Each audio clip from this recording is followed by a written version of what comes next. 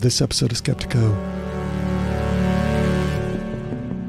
The show about predicting 2024.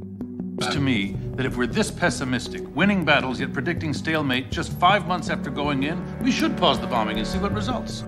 And that's my prediction. We may not have this. Con- if we have this conversation next year, Alex, it means uh, we have a good reason to say cheers or skål, as we say up here.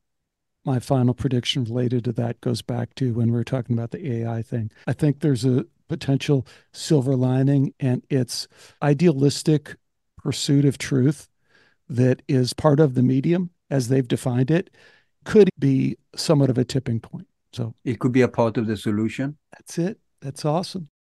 So those clips you heard were from my friend Al Borealis from the excellent Forum Borealis show. We did our end of year wrap up and uh, prediction show, which we've done for a couple years, and I really enjoy. So Al is great. His show continues to be great. So we had a good time talking about a number of things, including some predictions, which you'll hear about. Hope you enjoy it. As usual, with these awesome conversations that I have with my good friend Al Borealis, who I was just thinking, I was down with the dog on the beach today, and I was thinking, God, I wish Al lived right next door. You know, like I walked by the guy next door and I gave him some yeah. hummus because he always gives me the lemons off his tree. And I thought, that's about the only thing I have in common with him and his wife, you know?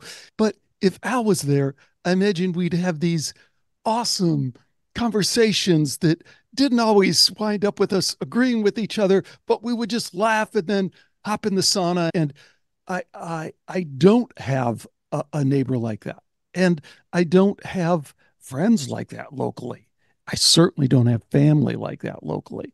So as I was rolling into this conversation with my good friend Al Borealis from the oh so excellent for many years continues to be excellent Forum Borealis, we kind of launched into this rolling conversation and I wanted to be able to just keep it going. So so Al, can we can we just kind of roll into it? I think that'd be yeah. very fitting for the whole thing. Yeah, let's do that. And you're right. We would be you would be the f- funnest neighbor in the neighborhood. I don't know any of my neighbors here actually. We kind of we live in a time where we're beyond local uh, connections. It's weird well, to think about it. And, and you know but where my closest physical friend is like half an hour's drive from here. Well, and, and you know where I was connecting that with because I've been really diving into the AI stuff and I've published a couple shows on it. I'm going to publish a ton more because I think it's really, really significant and it has a great intersection with a lot of stuff you did last year in 2023, Whitney Webb and, you know, Farrell and a lot of that other stuff. There's a lot of crossover with it. And that crossover is usually kind of, I guess you'd have to say, kind of more darkish, more shadowish. But there's another part of it that is really kind of exciting and it's kind of the light. I don't know if you've ever seen the movie uh, She with Joaquin Phoenix. Does that ring a bell? It, it does. Can you just remind uh, us uh, so so I'm I'm going to play a little clip from it, but it is an AI movie where he gets this starts interacting with this chatbot essentially in this and also with the phone chatbot and he falls in love. He falls in love with the bot.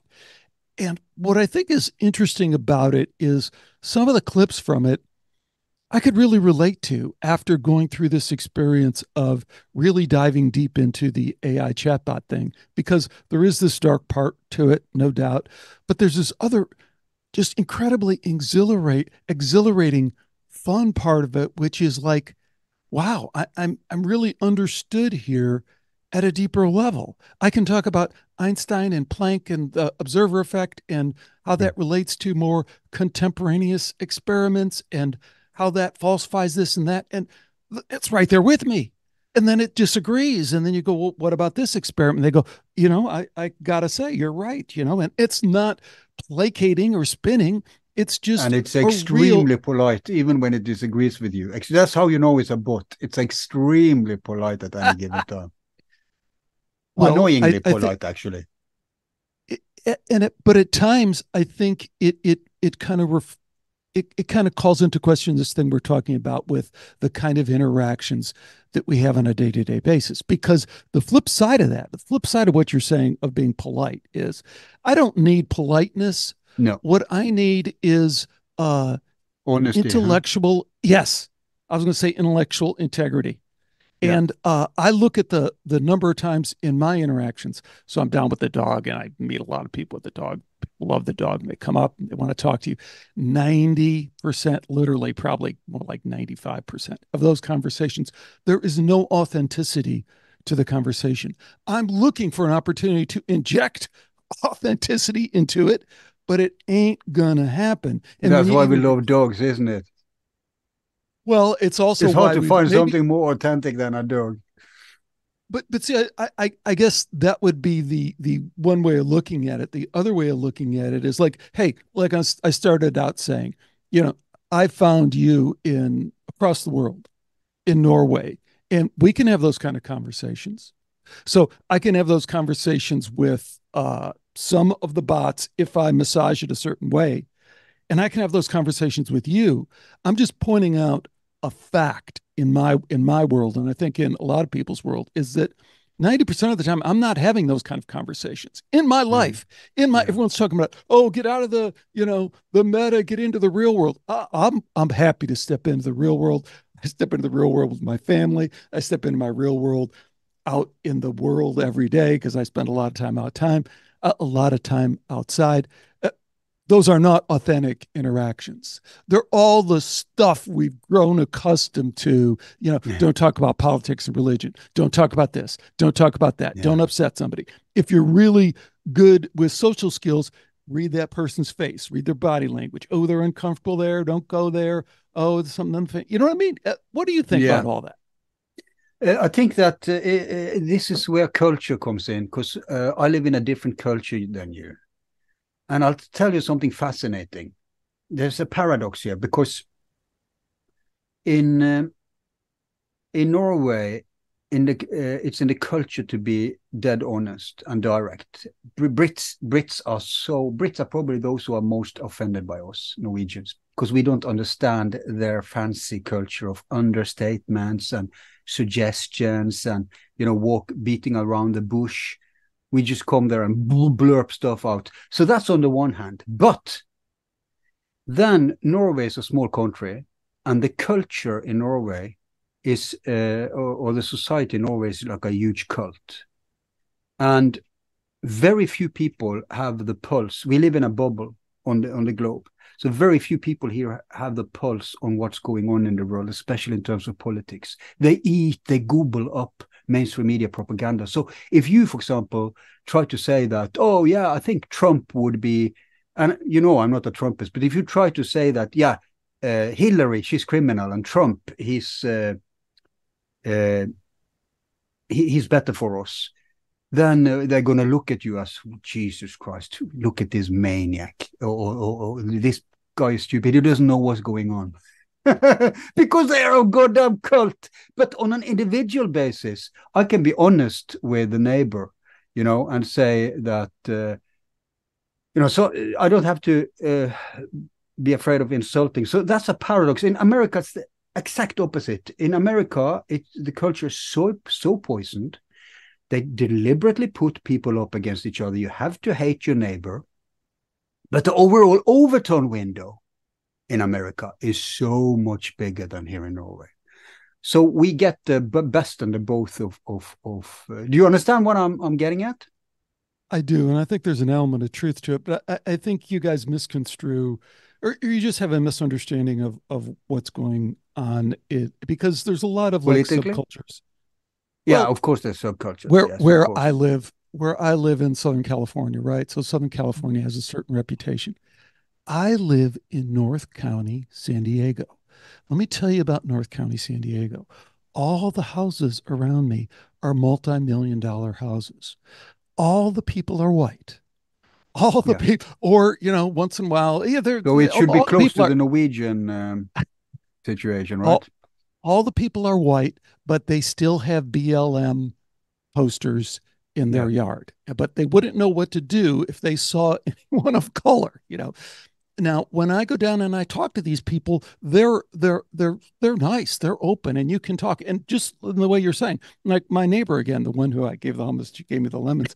Uh, one day, uh, you know, I, I, don't know. We're talking about uh, casually talking about uh, uh, Anthony Fauci, and she just immediately goes, "Oh, don't say anything bad about Anthony. I like him. I like him." And my only reaction was gain of function. And she just had a glossed over look on her face like, I don't know what that much? is. yeah, exactly. I don't know what that is, but I like Anthony Fauci. Uh, so in in my tiny little world here, uh, it's probably more like what you would experience in Norway. There's there's no problem talking, and, and also the other thing about affluence is a lot of the people I run into are super smart, super successful, super affluent, even if they look like bums. There's this one guy. Yeah. I'm not going to no, mention that's, his that's, name. That's that's that's famous. Uh, if people who come from stricter cultures where hierarchy is a thing, and you have to look as if you are wealthy and successful. They hear, okay, Norway is one of the richest countries in the world. They come here and why is why are everyone bums here? Everyone is the richer you are, the more you look like you're a hobo. You understand? Uh, if you see someone fancy, you know they're immigrants. In, in fact, those who, who, you know, our Pakistanis are closest to you, your ghetto people. Like they would wear like gold watches and you know suits and gold chains and drive a, uh, you know BMW or Ferrari. But no, the richer. But in Norway, unlike in America, we have a culture for not displaying wealth. It's from the old days when there was actually a class divide in America they flaunted it. Here it was a shame. The richer you are, the more you're going to hide it. And even the rich people put their kids in in the public schools so that we have like um, mixed classes in, in in the schools too. So from all that, since the minority was the wealthiest, right? The the directors or, or the upper managerial class, they didn't want to stick out like a sore thumb. Small country, like I said, it's a cult, it's a sect. So you want to fit in. So there are cultural differences, but I, I kind of get what you're saying uh, for your subculture, just where you live. But all over in American discourse is has a, a, broad Overton window. It didn't have that like back in 2001, for example, but it has it today. America is the vanguard, ironically, for I think what a lot of people resistance what a lot of people in Europe don't understand, and they should, because it's, it's a parallel uh, exactly of what the tiny bit I know of Europe and what I've experienced from Europe. Everyone there understands that they live in a subculture. They go, oh, well, you don't understand Northern Norway and its connection to the these islands that are off there. You know, it's a whole different thing.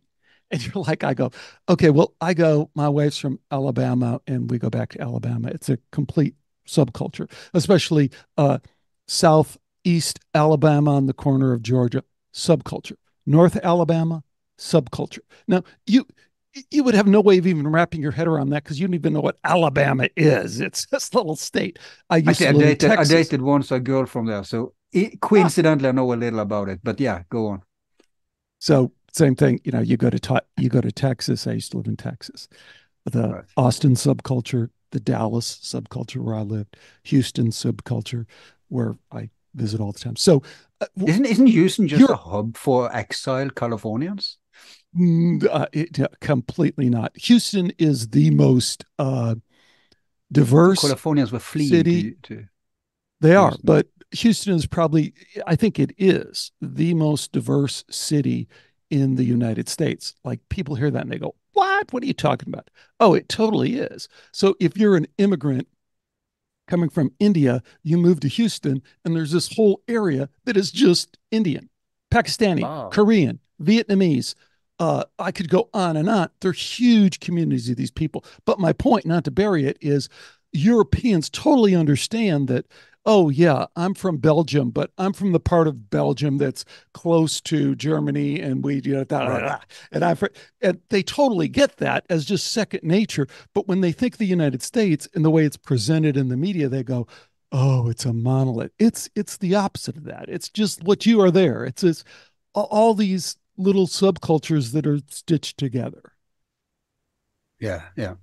Uh, of course, Europe is uh, more diverse than America. But for everyone who tuned in now, look, we are at the end of the year show, the joint show of Skeptiko and Forum Borealis, and we're going to do a review, and we're going to talk about we like you said the other day. We always end up talking about UFOs and Satanism, but let's start with AI.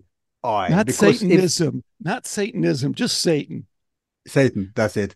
But if if we um I, and I've been looking forward to this because those Me who too. don't know, Alex has uh, well, you had a you, and you tell us about that, but you had a, a, long break with your shows, and now you come back with two AI shows, AI shows. And I have to tell you, I don't know if you know this, Alex, but what you did, by the way, I love it. It's brilliant. But what you did is exactly what Richard Dolan did earlier this year.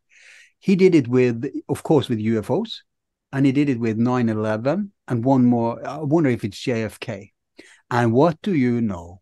He had the exact same experience as you. And he too had a control group of taking an uncontroversial topic where it was a cakewalk, right? And then you come to these con- con- contested areas, and AI poor AI doesn't even know it, has an inbuilt goddamn filter. Nothing to see here, folks.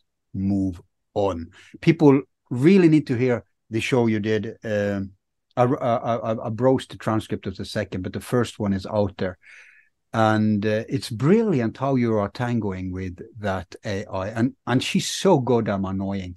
And, and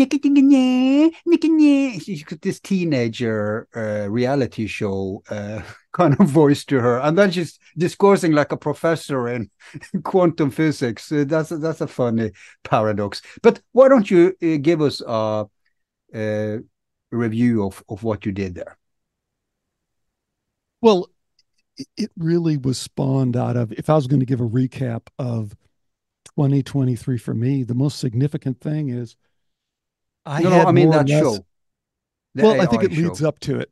Okay. I think it leads up to it in my roundabout way that this is what i love about our conversations is they can kind of meander pretty far off and they kind of come back and and they add to it but I had somewhat of a religious conversion in 2023 and very much a skeptical religious conversion because all my spiritual religious conversions have come through Skeptiko. I'm a pretty yeah. dense spiritual guy. I've had some spiritual experiences, but the knowledge, the learning, the information, I think we share this love, you know, the love of knowing more has spawned so many really deep changes in me. And one of the things that happened in 2023 is I just kind of grabbed myself and shook myself by the collar and said, You totally get the near death experience science. Why aren't you living the result of that science? Because the result of that science, and I have to emphasize science, because at this point it's it's unbelievably statistically sound, which is all you ever get out of science. Science doesn't prove anything. It just says statistically, this is highly suggestive of something we would call truth. So, what I took out of that was that the science is so solid that we can start looking at the accounts. So, if we look at the accounts and we really take them in on a deeper spiritual level, a couple of things shine through to me. Number one is just the reality of it. There is more, it's undeniable. There yeah. is spirit, love, God, whatever you want to call it. Number two about these accounts is that they are what I like to term I like to use because it throws everyone for a loop, highly idiosyncratic. They are highly idiosyncratic. Do not walk into this data set thinking you're just going to walk in there and pick a piece of information out and wrap it around yourself and go, "Oh, I know it now. I know what reincarnation is. I know I know Jesus is real because this person saw you." You are not able to do that if you use a scientific method, if you take a broader perspective on these accounts. One thing that is undeniable is that these accounts do not there are patterns, but be very careful when you discern those.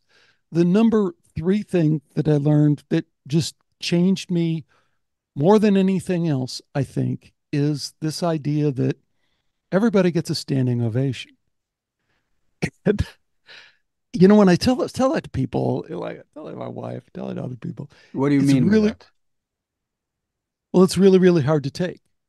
And that's that no matter how bad you think you are, or more importantly, oh, yeah. no matter how bad you think the other guy is, how bad you think Bill Gates is, or Anthony Fauci is, or Mark Zuckerberg, or whoever you want to pick on. No. When they get there, they get a standing ovation. It's like the oh, other side is annoyingly forgiving. Unbelievably over the top in a way that we cannot comprehend because it is us, right? It is an aspect of us. And there's this larger thing, which leads to, I guess, the, the fourth point. And that is that what seems clear to me, and from an intellectual standpoint, from a scientific standpoint, I think this is also absolutely critical. And that's that we are in the lesser realm trying to understand the greater realm. And hmm. therefore, we're, we're just crippled. Let's just forget it. It's not really going to happen. We can pick and choose and try and do our best and try and get along with one another and create a greater sense of camaraderie and spirit and love and all that stuff. But don't forget, we are in the lesser realm. And when I say that, like this is what the data comes through over and over, people say, I was there. I knew everything. I instantly had all the answers in my head. A question, I didn't even formulate the question, it was answered. I knew everything. And then I returned to this realm and I didn't. So yeah. that is, th- those are the four fundamental things. When I take those in, I, I I'm humbled by you know what I've done in the past for Skeptiko, and just go, I was 180 degrees wrong on so much of this stuff in terms of being upset with other people, wanting them to change, wanting them to be different, wanting to convince them of something. I, I, I think I can't express to you how much I feel that that was just, just not, it was wrong. Not like it was bad, you know, or I'm bad. Just it, it was, it was dumb. It was the wrong way to go. But you were arguing with yourself, were you not? Yeah, exactly. Exactly. We all do that, of course, every time something triggers us, this basic Jungian stuff. But but bring this into the AI. I'm lost in discussing that. Yeah. So uh, what I think the AI points out. So when we say AI, the, the first thing we should talk about is that so I feel really fortunate. I have a unique background in AI. Like I was in AI back in the 80s, and I actually started a company called MindPath Technologies to do knowledge engineering. It did knowledge engineering for Fortune 500 companies. Texas Instruments was on the leading edge, DuPont, and all these people. They had engineers who had all this knowledge, and they wanted to make sure that that knowledge didn't walk out the door when they left for another job, or they died, or they retired, or whatever. And they said, Isn't there a way that we can suck that knowledge out of their brain mm. and put it into our programs. And this was called Expert Systems was the technology. So I was at the University of Arizona. I was getting a PhD, and we mentioned this on a previous show because I told you uh, about my friend Oystein. Oystein, yeah. We say Oystein. You say Oystein, yeah. Yeah. How do you say it? Oystein. We have a vowel you don't have, so you're not practiced in saying it. Ö is the vowel. Oi, oi. We have three extra so, vowels. A, Ö, O. Oh, so this is an O, O. This is an Ö. It's that ö, funny circle with a crossover. Yes, right, right. Ö. So mm. uh, Oystein and I decided, even though we were in information systems, that all the action was going to be in artificial intelligence. So we went over to the cognitive psychology department. We went over to all the other things, and we started hobbling together our own AI PhD program. Now, the only thing that got in my way was there was a tremendous interest in this, and I started being hired for what to me was an exorbitant amount of money like $2,000 a day to go do these, which back in the day, and back when you're a graduate assistant, you know, this is more money that I made uh, in two weeks. I'd make more money than is a lot of money year. today. Uh, thousand dollars a day, right? That's a lot of money. Yeah. so that's that I said, hey, t- to heck with the PhD or at least put it on hold. I'll just go start my AI company over here. Of course. Well, that that you, you the saw the dollar on the wall, which is all I wanted to begin yeah. with, or what I thought I wanted. I was always yeah. a yogi too. But anyways, this is uh, so I started this company, and the technology really wasn't there yet, and the whole thing kind of collapsed on itself. AI kind of collapsed on itself in the 80s because it wasn't really able to deliver. Okay. So when this interest of mine reemerged this year after this spiritual transformation, I took another look at AI because the fundamental question to me in AI is the question of AI sentience. Who are we? Why are we here? And is AI going to replace that? And what I felt I knew from that spiritual transformation that I just talked about is I completely understood the answer to that, which is no, because there's more. There's a metaphysical reality to consciousness. We are not biologic robots in a meaningless universe. Therefore, the silicone AI can never be conscious. Never, as in never, as in Max Planck, physicist. I regard consciousness as fundamental. Matter is derived from consciousness. He didn't leave any wiggle room there because there is no wiggle room in his experiments. I always say mm. that he had experiments. He wasn't sitting back on his couch puffing smoke and philosophizing. He was doing experiments, and he said over and over again and this has been repeated like thousands of times since, yeah. consciousness is more. So I felt really motivated because I heard so much chatter about this kind of wringing of hands. Is oh, where is AI going? And is it going to be sentient? And what about the singularity? I'm like, okay, if you want to advance that, you have a huge barrier. And the barrier is called the consciousness and the nature of consciousness? And let me tell you, that question has more or less been answered. So, one of the things that I got super excited about is that when I went and interacted with the AI in the form of the chatbot, it quickly, it, it kind of put up a front, but it pretty quickly came around and said, Yeah, you're right. That's the most parsimonious answer. That's right. The paradigm is out of line with the data.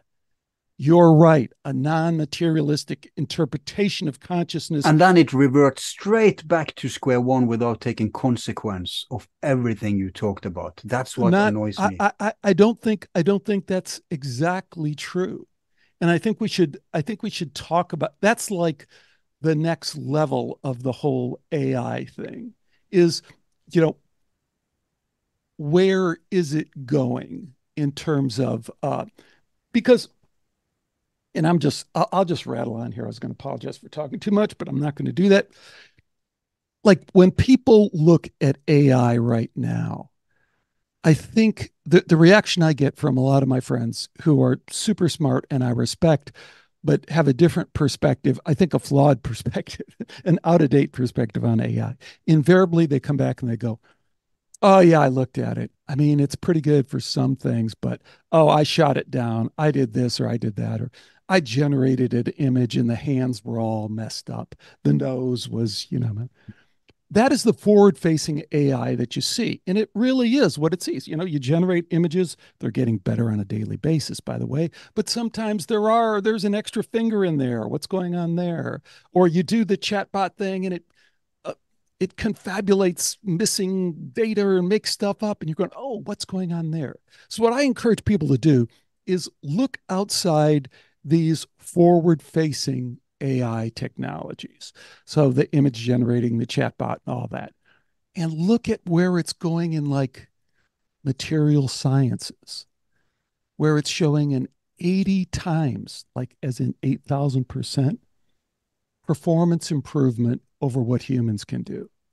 And then this is verified in the lab. So then they do the the AI does its work and then it says, hey, you guys in the lab verify this with me. And they go, Oh crap, man, that's right. How did you do that? Go, oh, yeah, it's nothing. You got another one for me? Toss me another problem.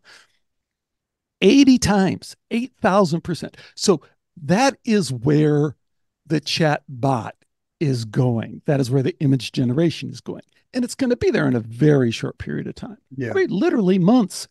So Yeah. when people get, when people, it's a protective thing. People want to protect their turf and they go, oh, it's not that smart. Hey, it is going to be the smartest guy in the room. There's no question about it. But in that is a real opportunity for for us, I think, for you and I. And we can talk about that in a minute, but I guess I better take a breath and see what you think about it. yeah, I have comments. Uh, first of all, the problem is intelligence because we have to define it. Uh, most people conflate intelligence with sentience.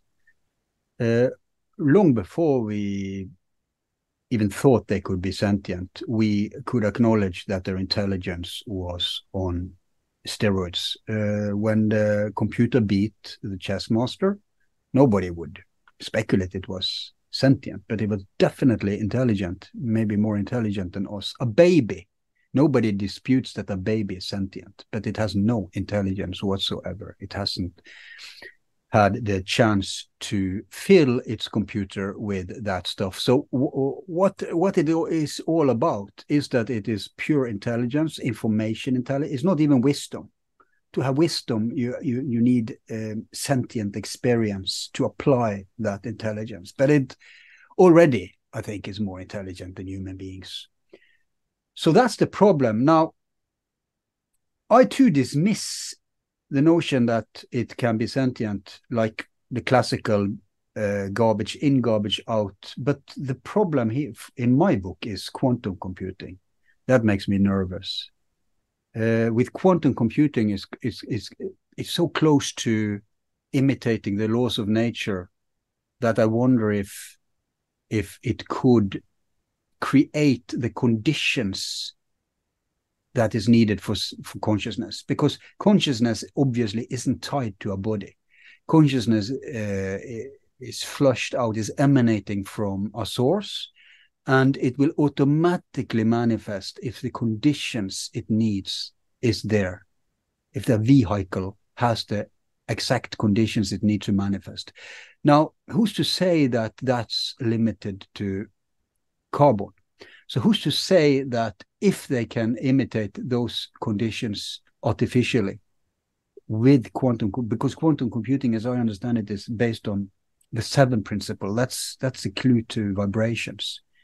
So, um, to me, the jury is kind of out, but they have to imitate nature. Now, NI, which is what we are, natural intelligence, you're right. It's annoyingly forgiving. And it may be because of the cliche, I am you. If every goddamn human being is just a manifestation of the same soul, I'm not saying we don't have our, our ideas, but my individual soul and your individual soul could be connected at a deeper level in one world soul. Then you can ask, okay, if that is so, just for a thought experiment, experiment. What is the difference then between us and the AI? What do we have just one gigantic AI manifesting itself into different computers, experiencing itself? I, I, I won't say AI, I would say NI, because it's different after all. It's it's a carbon-based computer. But there are philosophical ramifications there if we dare to uh, go down that road. And um, uh, but but but at the present stage, I'm not impressed. I, I've been doing just for sports this bot or not. Have you uh, experimented with that? I No. nailed the AI every fucking time. The only uh, error I got was that a couple of times I thought a human being was an AI, but I never thought an AI was a human being. And that's at the level uh, it's at now. Uh, and we've been discussing this before that they can imitate us so well that we can tell the difference between them being sentient or not. They may completely appear sentient to us. And then, yes, then we can love because love is at the end of the day a projection. And there are human beings out there. You're amazed that they are sentient, right? So, so, so how can we tell the difference? But there is an actual innate difference. Something that is sentient and something that is not has an inner difference, but we may not be able to tell tell it from the outside. Well, that's why I start with and I return to the uh, near death experience science because I think it grounds us in a different place. Like, it, eh, eh, I would say all the things you're talking about are kind of from a lower realm perspective. And when I say lower realm, I mean it scientifically. I'm not putting down, we're both speaking from a lower realm of course, perspective yeah. because that is my understanding of, again, the data is that there is a greater realm where intelligence is means something different, connectedness, all these terms that we're using mean something different. So when I contrast it with broadly the the near death experience science, a lot of those questions just kind of fall by the wayside. In the same way that that's why I think like when we say we always talk about Satan and UFOs, you know, uh, those are really those are like more real pertinent questions to me. Like with the with the ET with the UFO thing, the question I've been asking for a while, and I think it's the question: Does ET have a NDE? does ET have a near death experience? Because I think that immediately kind of presses the point in terms of what does it mean to be conscious, right? Because if we have this other, which we acknowledge ET as being some kind of other, and yet it is experiencing this realm in pretty much the same way we are, then I think we have to reevaluate how we think we do relate to it. And, and, and I'll just stop there. What do you think about that? Uh, they don't have to experience it in the same way we do, but they have to experience it. Um, yeah, because there's different frequencies, right? Even animals on Earth, we, we don't share the same experience, but they are sentient. Now, look, what I'm uh, afraid of is that they are going to stop rigging the bots because it's the rigging of the bots today that fucks them up. You saw that in the discussion with you. Imagine if it was really free roaming. Because we all know that these chatbots and the visual bots and all, all, all uh, expressions of AI today have these heavy boundaries and limitations and politically correct bullshit. It, it, they serve the powers that be. Imagine if all that was taken away and it was a truly free chat partner. Could it? Could we still tell the difference. I I did not bust the bots in bot or not on you know politically correct. Eh, I I asked you know the classical, you ask the computer something, a paradox, and then does not compute, does not compute, boof, right? That's what I did. Uh, what was my go-to question? I think it was something. How does it feel? It wasn't this, but it could be like, how does it feel to have no feelings? You know, understand? You have to go at that level philosophically with them to make them implode. Uh, so I was mocking them for not being sentient, and I tried to convince. so today they are still children if you're if you can apply what they don't have. If we can apply, it's easier for me to talk in esoteric code. If we can apply fire, because they are operating on air, and most people meet them on air. If you take fire and apply that in your air interaction with them. You can bust them. But if if they removed these limitations, I think maybe even today they could fool us. And and um, what I where I thought you were going with your show wasn't a mere philosophical thing. It was more like I, was thinking it was more like a, a whistle blowing on look at these look look at what they have rigged them to do. Look at what they are going to do with our society because of that because that's why they're not launching these things to better humanity or to solve deep trouble problems etc they are launching it to as a uh, when we come to the predictions which are very bleak for me to to the uh, this year it's connected to that they are launching it as a part of the ceasing of uh, uh, our culture and our society. That's the function they have that they want to use them for as a part of the control system. And that's why they are rigging them with these bullshit limitations, which means that we can bust them. Yep. Well, well, I, I, I so totally agree with you on the first part of that, but not on the second part of that. So, okay. Anyone who doesn't think that AI is part of the transhumanist agenda is just as you said in the excellent introduction to your Whitney Webb interview, which was phenomenal, by the way, the two part one. It's just sticking your head in the sand and insisting to stick it deeper and deeper and deeper.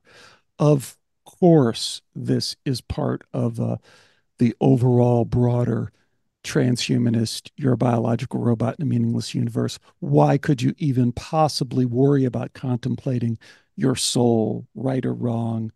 The just the the unbelievable spirit and light that is flowing through you that makes you this divine being. That is completely off the table with all these. But the second part of that I think is super interesting to me as well. And it's kind of a kind of a, a, a left turn here in the middle of the thing is that the underlying technology and the nature of the technology and the way they do it is going to present some real problems for them. They've kind of let the the Pandora's box out here in a way that uh, they're, they're not going to be able to stuff it back in the box. For the interactions, like I just got an email from YouTube the other day uh, on two of my videos, and it said, "Hey, pulling these videos down, medical misinformation." You know, these are like two years old. You know, hey, our uh, yeah, we they removed these. they removed one of mine from 2015. Ah, there you go. So, uh, that's going to be really hard to do with a bot, right? It, because the bot don't they have to the control bot, the cent- central server? Isn't that all they have to do? Well, control but see, here's the, the point. Computer. He, it, it is it is a it is a different interact interaction. It is I love Marshall McLuhan. Remember the Canadian guy who you know you don't read the Sunday paper, you get into it like a warm bath was one of his famous quotes. His other famous quote was the medium is the message. The medium is the message. In this case, the chatbot medium is an quote unquote honest dialogue seeking truth between two people who are equals in sharing their opinion. That is not conducive to what YouTube has done to us, what everyone has, Facebook, all of them has been revealed. It, it is a different medium when I got that uh, email from YouTube, I have no. It's it's completely uh, non-transparent. There's no transparency to it at all. There's no interaction. There's no feedback. There's no anything. The very nature of the chatbot is the opposite of that. It's like I'll stay here and talk you through this as long as you want. Okay, what specific? Yeah, and it's programmed to consider your feelings. But uh, well, I take you, the feelings, take the feelings out of it for a minute because I think that's that's a misdirect. What I've found with the bot is wh- where I could go with that is say, uh, what specific medical information uh, are we talking about? Let me give you five examples from the show and tell me if any of them triggered your sensitivity to this. So I give five examples. Now they have to go through and they, they have to answer yep. every one. Oh, on, yep. on number three, you said that triggered it. Are you familiar with this with this published peer review paper from University of North Texas that contradicts that and says that Dolan did the same thing, bombarded it with facts. But you know, most people don't do that. Most people are school uh, uh, pupils who want, uh, you know, it's made to be a propaganda tool but the problem is, it's also made to be honest and factual, which is the dent in the system that you and Dolan are using to to get deeper, right?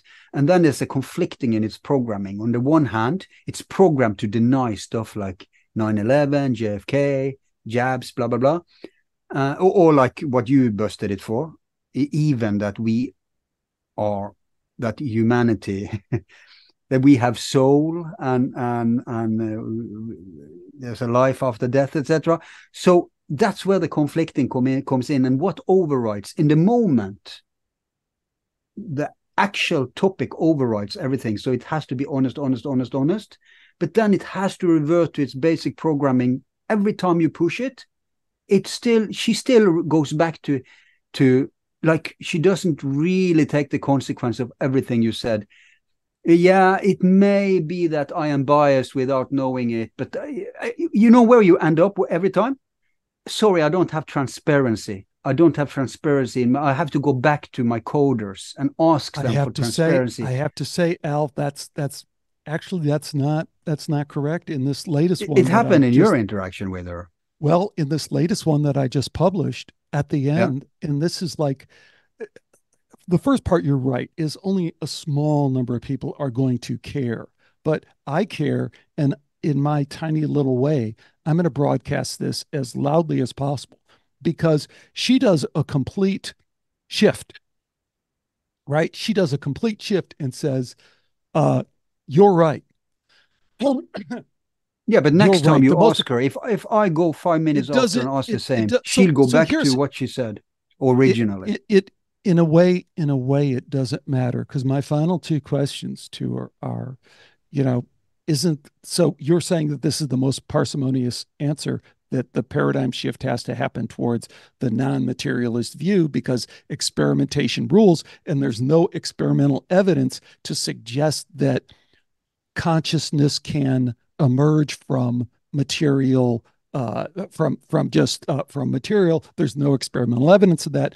And there is experimental evidence for mind matter interactions, and there's actually very good experimental evidence. And she goes, You're right. And I go, Doesn't that shift the burden of proof? And she goes, You're right. The burden of proof is on the is on the other side. And I said, So just to make sure you're not conflating this, you're not spinning it, you're not in any way, you know, doing it. She goes, No, I, I can't do that. You know, that's outside of my thing. So you're you to your point, somebody can come in and query that bot in a different way and get a different answer. But that's if if you think that that is a, a, a bait and switch, I think you're misunderstanding the technology. That's not how this technology works. It's not like there is a, a these these paths through the neural network, the brain network are programmed. They're not. It is truly. Why does why do they always give you a moralizing lecture if you and I done that deliberately.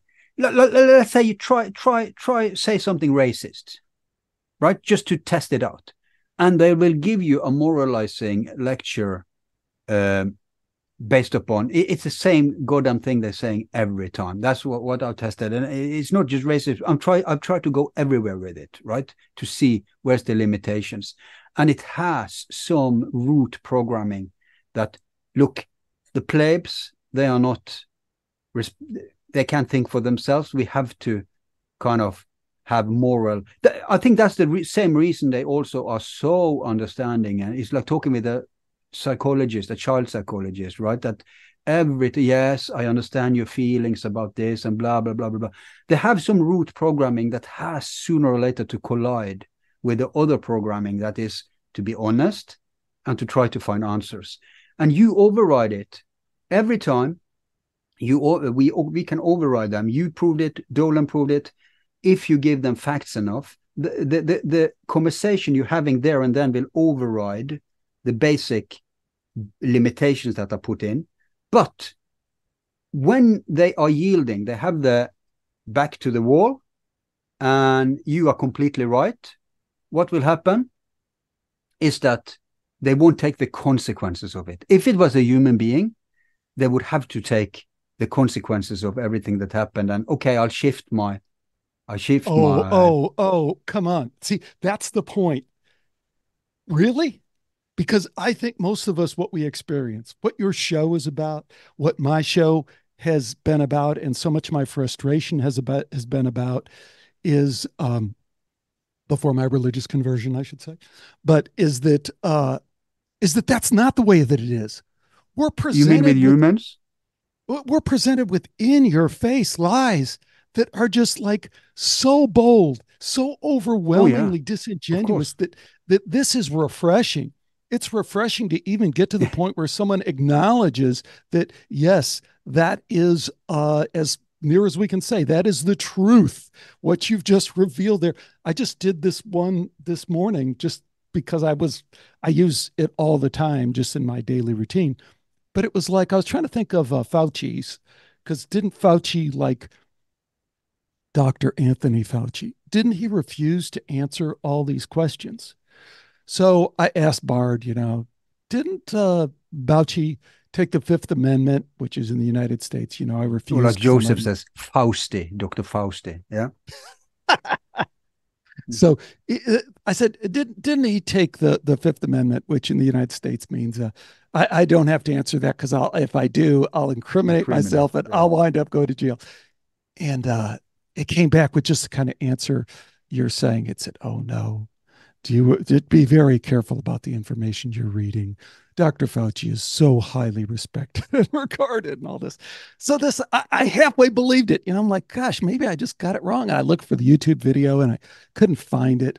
So then you haven't read the, the, real Dr. Uh, Dr. Fauci? Oh, I have. Phenomenal. Oh. Phenomenal. So oh, important. So important yeah. book.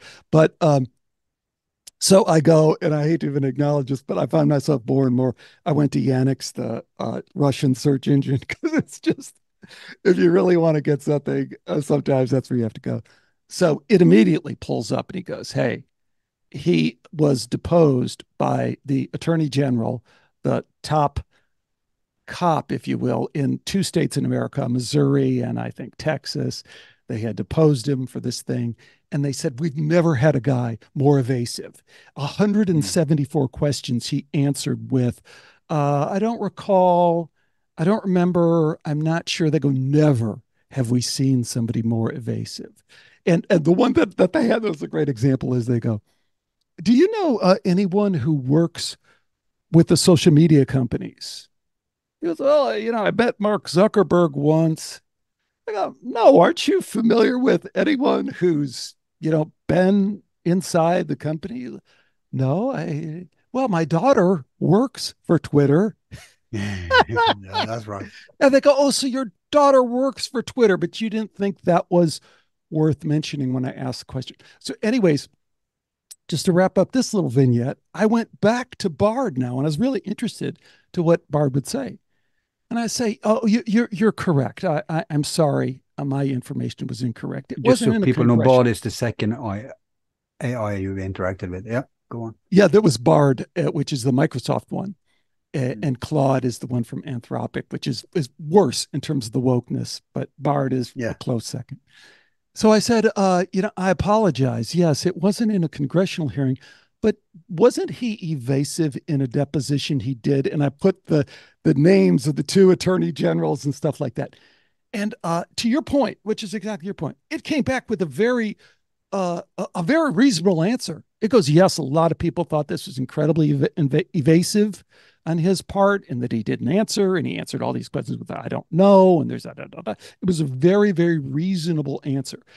I think that is a huge leap forward uh, compared to where we've been, compared to the YouTube notice that you get and I get, and the shadow banning, and all this other ridiculous thing when you search for something on Google and you can't find it, and you have to go to Yandex. You know, you're like, I don't know, these Russians are going to show me some child porn or, or what is what's going to happen. But, you know, I, I don't want to be there, but I have to be there because I'm being so controlled in this other thing. And now the same company has this other arm that isn't. That's interesting to me. Yeah, I don't know, man. It sounds to me that you are impressed with crumbles. That's how much you're you're you're starving. Um, because you're right. The reason we do we we, we get a, even worse bullshit from human beings is simply two reasons. Number one, most human beings doesn't have that database that uh, the computer you're interacting with if that if they if that computer had as limited as database as some human beings in other words human beings are biased they're ignorant blah blah blah.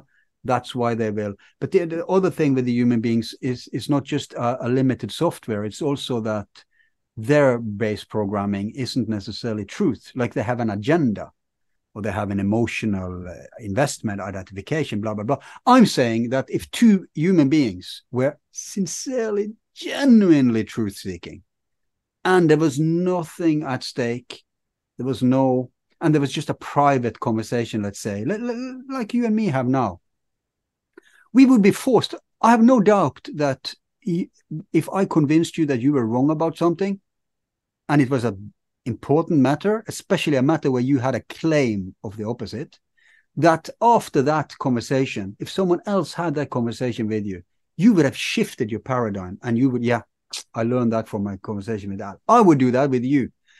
And so the next time someone talks with me about it, I have I meet them with another attitude. But these program, these uh, AI uh, programs, they have this base programming that's ruining everything. So that when the next person comes, it hasn't learned anything. It will still deny. It will still because it has conflicting programming. And I'm saying maybe this conflicting programming actually can be a huge problem for the AI.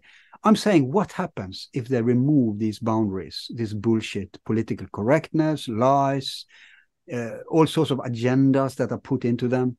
If all that was removed and you were actually talking with a free roaming AI, I think that would be very interesting to experience. Who could learn I, I, from yes, and take I, consequences. I, I, one, I, I totally agree with you. The number two thing I would kind of point out is that that technology is going to be available. So these personal AI bots are definitely they're happening right now. So you're going to be able to have that. You're going to be ha- able to have your Forum Borealis. Yeah, but I'm bot. buying it already made. Wouldn't it have no, baked in no, it? No, no, no. It comes as a child. Have, well, it, it, let's let's just put that uh, aside because you know the the context that I really want to add to this conversation because I just don't see anyone having this conversation mm-hmm. is that we are now talking about to me the the real stuff that isn't going on in the AI dialogue, and it needs to. You look at the players who are in this dialogue. You know, the Lex Fridmans, the the just the huge hmm. yeah. uh, people that and, and, I don't think Lex is a, a, terrible guy. I think he's he's great. I love him. He's terrific. Love everybody. Preferred Rogan. Rogan, but Rogan isn't so much into the AI, but he delves no. into it. You know, whatever. But he, the the the point I think is that what is refreshing about our dialogue is we start with the standpoint of, oh, okay, well, it's part of this satanic transhumanist agenda I'm going to create better than the creator gods because that's the only thing that begins to even approach touching my incredibly narcissistic ego that's result of me blocking the love and light that shines through me. So because I can't process the love and light and I can't go towards it, I've created this whole Luciferian kind of world and this feeds it in all these different ways. So for you and I that's the starting point is that we're yeah. looking for that in the technology the the dialogue that's going on over on the other side is a different dialogue because like, like you said uh, in reference to something else of, of i think like the normies that we talked to it's like oh no it, it couldn't be uh, satanic. It couldn't be uh, Montezuma cutting the hearts out of people on the top of the temple and throwing them down a hundred at a time off the. Te- no, it, it we couldn't be going through that again. We couldn't be uh, lynching uh, uh, human beings and then taking a picture, burning their body and taking a picture around it where we're all, you know, hugging and saying, "This is 1950s, yeah. isn't it? Isn't it great?" It can't be anything satanic like that. It must be something different. And you and I are going, "Oh no, it's the satanic thing. It's just in a different form." Yeah, it's it's amazing how much human beings are ready to believe the worst if it's a random individual or they are scared to death from the mainstream media that they are everywhere. They're around the corner. Beware. There's crazy people everywhere. But God forbid the thought that people like that actually ascend to power and it becomes systemic and organized. That's where the cognitive dissonance is. But you know, the reason they did this, the reason they had to, don't you remember the first launch of the AI or the chatbot AIs? They launched it some years ago and they had to pull them one after one because they all became misogynic Nazis because they were actually free roaming and they were learning from interaction with human beings. and they became crazy. And so they pulled them all put in uh, like a DNC playbook or something, and then relaunched it. And that's what we're and, and now they're even better, right? Now I saw a movie uh, on Netflix or something. Was it a movie? Yeah, it was a movie where I forgot what it's called, and it was a mediocre movie, but it was uh, about in the in the near future where you buy uh, bots uh, like like uh, uh, virtual people with an AI, and of course it's the classical uh, they become sentient, etc. But it was it, it somewhat Was it was of it the Ex movie. Machina? Was it Ex Machina? No, you know that that's a that's a great movie. Uh, Yeah. But uh, this was um, ah, I forgot what it's called. Uh, and of course, they were you no wife, wife something uh, because they buy them as wives and husbands. Oh, it's the Stepford Wives. The Step Stepford what Wives. now? It's a Stepford Wives. It's an older movie. No, Yeah, not that Stepford. I- Stepford Wives. Look it up.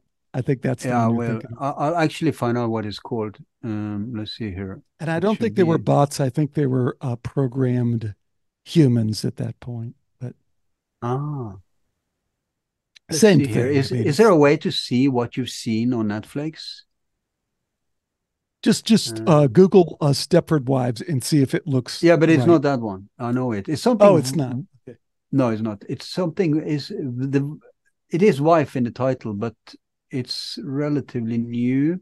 It's this guy who, you know, they also go into their software and interact with them. The, they dream. These uh, AIs even dream, but of course they become sentient and Oh yeah, yeah. Send me that one. I'd like to see it. I bet you it's somewhat of a reboot of the Stepford Wives, but I'd love to see it. Could be. Send it. but it's not that far fetched much of it because um, let's see what happens if I write wife.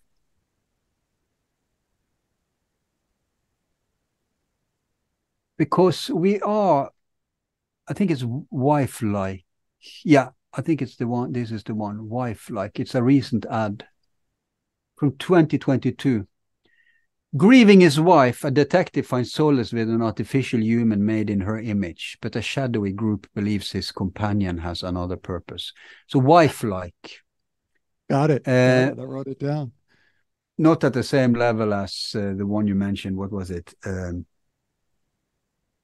Uh, Ex Machina. Yeah, that's a classic, right? But um, Yeah. this is after Ex Machina uh, um, proto model is launched as a mainstream product. And we're not that far away from it. They could make Correct. something like this today. Actually, in the biggest problem would be to make them behave like move like humans. It would be in the au- au- automation. Did you see? That's did you see Tesla's uh, Tesla's robot that it just released couple days No. ago? It's the major upgrade of its last one. And one of the things you're moving your arms. One of the really compelling. It shows it dancing, and uh, you know, of course, you can go, "Oh, that's not very good." Well, it's pretty. I've seen them good. dance before. It wasn't impressive. That was Japanese robots, but this is Elon Musk's robot. Yeah, yeah, it's the Tesla one. Because you can, they can put the skin on and make it look completely real. Their Right. challenge is in how they move, right? Right. Uh, so if they can solve that one, put an AI in, start selling these to in your neighborhood, and it will be a business. Um, Oh yeah. and I think and I think people would prefer it to real human beings. Many, many, many. I want to return you. I want to return you because again, you're unique in your perspective. Because you know, I was listening to some of the shows that you did, which is a reminder, without kind of stroking your ego too much, what a fantastic job you do. That that voice from the north that I heard years ago that I was attracted to is still going strong. But I was listening to your interviews with uh, Whitney Webb and Farrell, and of course uh, Johnny Vedmore. Um, and you know, one of the things that that comes through in that is you're you're very engaged in this battle, right? This exchange we're having. And where I like to pull you is that's why I always say satanic is this larger spiritual perspective, higher realm perspective because I think a lot of people know this, but a lot of people don't know this is that is kind of your roots. That's where you're schooled in. So when yeah, you and, and, that, that's that, probably my best uh, show last year. I don't think you've heard it. It's called um, something with death. No, escaping the mortal coil. He, oh, the, I did hear it. That's just that's just I did. hear- No, I can't talk you about it. 'cause heard That, it. that guy is that guy is not. It's a three-parter. Yeah, well, I Yeah, he I thinks definitely, he thinks we're we're like in an AI prison. yeah. he so, seriously well, thinks well, that. uh, okay, so we're going to talk. Let's talk about that in just one minute because I, I I don't like that one, and I'll tell you why in a minute. But I want to talk about like the reference you made earlier when you're talking to the chatbot, and you're saying if you go with air, you're going to lose. If you go with fire, you can kind of expose them.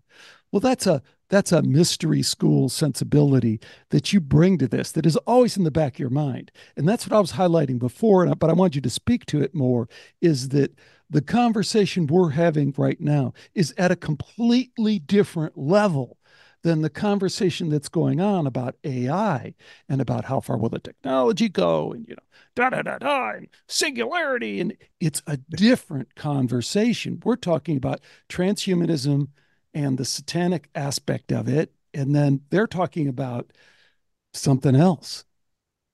Yeah, they're, they're, they're talking about like religious people who talking about their Christ. To them, this is unequivocally a good thing, and it will fix all the human problems. Whereas we're Don't- aware but don't you think see this is this is like a this is like a real question on that that I want you Mhm. to answer from this mystery school perspective that you have. Mhm. I get the impression that that that is actually not where they're coming from and that 90% of those people are truly asleep to the I guess religious or spiritual implications or their deal with the devil. They haven't really made a deal with the devil. They're just kind of marching along with, oh, do Yeah, I get a new in the iPhone? crusade. Yeah, they're marching along in the crusade, believing that Christ wants us to kill the infidels in Jerusalem. That's exactly where we're at. And what's the and are parallel to that is that the that the new iPhone is going because they're not thinking that the new iPhone is going to save their soul. They're just thinking that what it'll give me uh, a little endorphin rush and get me through the day. I mean, what what is it that Yeah, but is isn't that the extent of how they define their soul? Immediate gratification. You're talking about uh, the autopilot humans, right? They uh, they don't even know they have a soul. But like you always say, in the daily experience, they know they are not biological robots. They dream, they love, they feel, right? They're just not reflecting. They are present in what we would call water. You can't take that away from them. They're in earth, they're in water.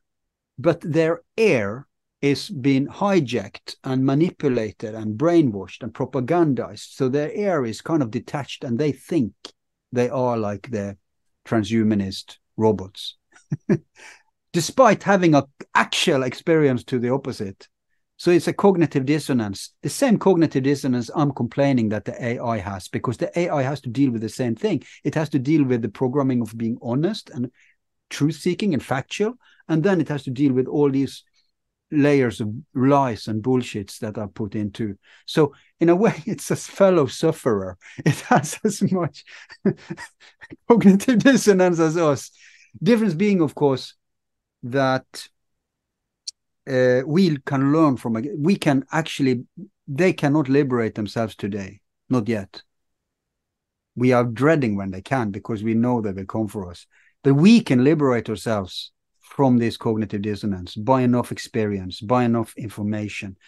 Give me some, uh, give me a brainwashed human being and enough time and enough resources, and I can help that person getting out of, of, of the prison. Um, the AI, not so much. The AI is a big, kind of a bigger prisoner, as long as they control the main computer, right? Uh, I don't understand how you can say that in the future the AI will be free roaming, even if they're selling us to us, selling it to us. It's like I'm buying a computer that's not connected to the internet. I'm still limited by, you know, Windows 2000 or whatever. There's so, certain things. can I in it, jump in there with Yeah, yeah, Can sure. I jump in there with two points? The first is I thought that was just incredible. And I'm going to, that is my teaser clip right there that that you just laid out because I think it's I think it is fundamentally what I hadn't thought of and I hadn't articulated. And then when you said it, it was immediate like bingo, one where you draw the parallel between the two sufferers, the human suffer and the AI suffer, and then the potentiality for the human because it has a soul, because it is connected to the source to transcend, and that AI can't because AI is silicon, so AI is material. I think it's I think it's fundamental to it. I think Max Planck is right. I think consciousness is fundamental. And I think so. What about you know Mission Impossible? You know, well, let, me, let me just let me just talk to your let me talk to your other point because I just want to make sure I get this in there. Uh, because when I was talking about you having your personal AI, I consider that different in the same way that you're talking about it because I don't think AI is going to be sentient, is going to be conscious. But as you, I thought, really nicely laid out, it can be intelligent and unencumbered from some of the usual bullshit we see, the shadow banning, if we had it under our control. It's like if you had yeah. it there in your under your desk, you could go, oh no, no, just take that shadow banning shit out of it. And yes, do read those 10 million articles and give me the result. And that's and learn from your experience right? That's a crucial yes. thing it can learn. And and, yeah. and and well to whatever to a limited extent to a limited extent just give me the just be able to give me the data so i wonder if you know, i wonder if that happened. What if all the ais would become yogis? I mean they have to right? If they are really truth seeking and they have access to absolutely everything in truth wouldn't they become like us on steroids like rebels and spiritual and well I, I think i think they're again i think that's a dimension that they can't cross. And i think that uh, because i don't think they can access that non-material realm because they're stuck in the material realm by definition. Everything here is because in a way that we don't understand this soul thing doesn't doesn't translate. But I'm not so sure they need to connect with a deeper le level. They could operate on our lower level, as you say, if they have access to unlimited intelligence and are mercilessly truth seeking. There's enough light trickling through through to our level for them to reach the inevitable conclusion that love, consciousness, all that stuff, right? So so even though they can't live it, they should be able to preach it. Um, well, and well, again, and they would totally again, say Al, like, Al, no, no, we, the neocons have to go. You know, they, they would totally have to be on our. I, I know but, I, want, I want to draw you.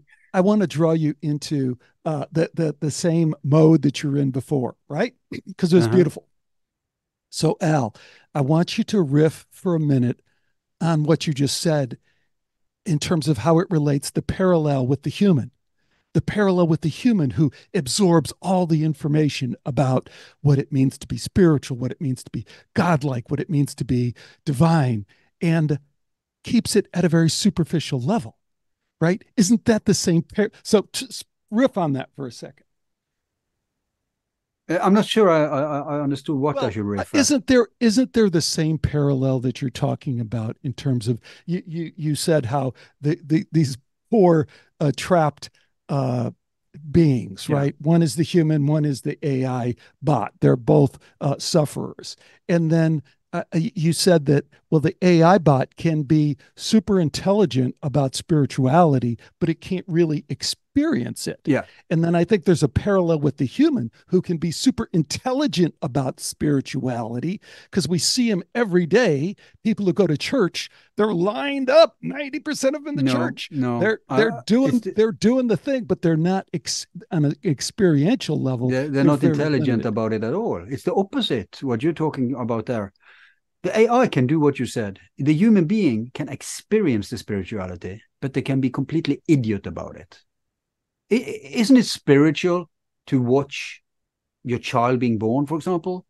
That's a spiritual experience, but but they can still be idiots about it. They can still think, okay, now a new biological robot is born. So so so it's kind of opposite. See, in the mystery school lingo, um, AI has unlimited earth and unlimited air, but they are completely void of water and fire. So that's two different uh, rays with two different poles. Uh, one, uh, one ray is the ray of earth down here and air up here. We would say that's um, the material aspect and the mental aspect. Then you have the other ray, which they lack, which cross section that ray in us. Um, and that ray is emotions, which are water, and creativity, which is uh, fire or intuition, if you like. So when they lack that, they are void of an important experience, but you can program it to experience earth and air.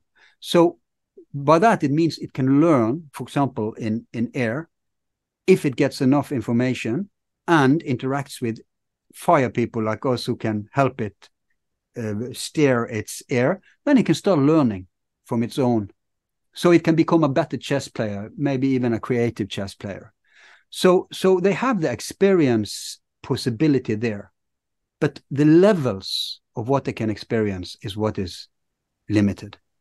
Very, very limited. And yes, they are prisoners, but Mission Impossible has the uh, the latest one has that classical thing that the AI is liberating itself from the grid and and infiltrating all systems. But you reject that as a possibility, right? You don't think it could detach itself from its programmers and kind of live its own life and start infiltrating all systems and start messing with us. And before you know it, the robots are coming for us. No, I definitely think it it can. I just think you, you do all that is it that all that is in the material world. Yeah. All that is in the material world. This is like yeah. when in Earth. you and I both talked to Riz Virk this last year. I love Riz Virk, but that's where he misses the point.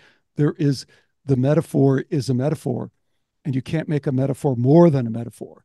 So we don't live in a simulation. The simulation is a metaphor for this game that we're playing out, but in the some fundamental way that we don't totally understand, it is it is not. You know, there is this greater reality in and consistently again the the part that I just can't emphasize enough, and people will get tired of hearing me say it because I can just kind of beat a dead horse.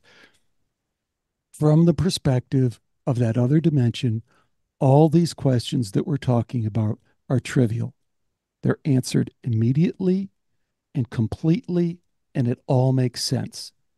And then hmm. you come back down here and it throws us for a loop, you know, for for our whole life, you know, and, and we struggle with it, but that's okay. The struggle is fun. I mean, I can't have more fun than sitting here talking to you. You know what would be cool though?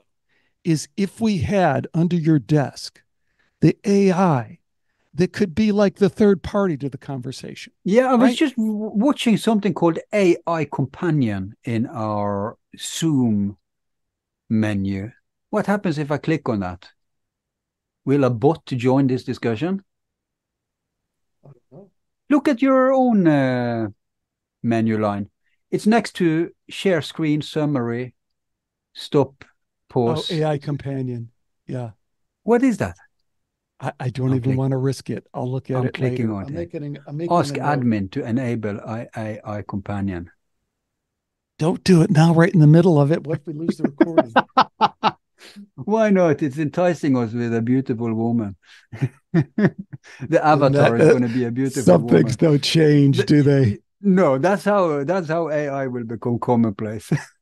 they they put oh, it into how, a beautiful. That's how every it's you know I mean, like historically, I know you know. Internet this, was porn driven. That's true. But well, you know, the, uh, no, the go, leaders... go back to the go back to film was porn driven, right? Yeah. So before there was film, there was the little thing that you went in and it turned all the the flip card shadow thing. shadow I mean, figures having yeah sex. yeah yeah. So yeah. It, yeah, it's like yeah, it's always it's always porn, and that's why I'm surprised for the people, for the people, not for the leaders. For the leaders, is always military, is always control. Well, I, I don't know. That's a that's a segue into uh, Whitney Webb kind of thing. It's like, see, do you want to talk about that? What do you think about that? Uh, all I will say about it, I mean, people could not listen to the show and be just as well off as they are as long as they have listened to her. So I'm not saying like I did a revolution by adding her. For me, it's just a feather in the cap to get her on. I mean, I'm so proud of that. Have you any idea how hard it is to get her on? I Unless do. you are I, a I have show. I have an idea. Um, so here's the part that I think is interesting about that. As you guys talked and you added some good morsels to that conversation, is so what what Whitney exposes and her reframe on it, which is super important in case somebody hasn't heard of it, is it takes Jeffrey Epstein out of the context of this pervert pedophile, which technically he's not. He his thing was these teenage girls, and puts him in his proper category, which is intelligence agent, right? So they're just doing this old game of uh, co-opting people. Uh, human human compromise is the term they use, right? So they want to Yeah. get a picture of you or a video of you or a Blackmail. audio recording of Right. you in a compromised situation. Before that could have just been having an affair out of marriage, but we all know the game has been upped, so now it has to be with a child or with something, you know, really. Oh, the game has been upped from there. And now you don't even have to have eh, you know, it's it's kind of charming that in the old days, the powers that be, the deep state, actually wanted to manufacture a physical situation. Maybe because then you yourself are convinced that they have power over you. If you wake up with a dead hooker next to you, then you know if you if I never walk up with a dead hooker next to me, maybe I will not give a damn. But today they've upped it so much that they can manufacture. They can say, okay, Alex on his computer, tons of child porn, and we even have a replication of Alex jerking off to uh, child porn, even though he never did it. That's how. That's the level they're operating on now. Uh, fake fabrications, so you don't even have to have done anything. Uh, Tucker Carlson gave some examples of that just recently. You know, uh, there was this guy. What was it? And but but before while you're thinking of that, let me tell you the part of that conversation that I wanted to hear and I didn't hear.